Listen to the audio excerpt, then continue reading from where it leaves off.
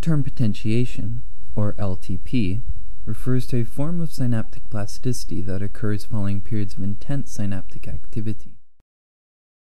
On the left, we see synaptic transmission at normal levels of stimulation. As the frequency of stimulation increases, however, transmission at the synapse becomes more efficient, resulting in the amplification of impulses across the synapse, as seen on the right. Amplification of impulses across the synapse, as seen on the right.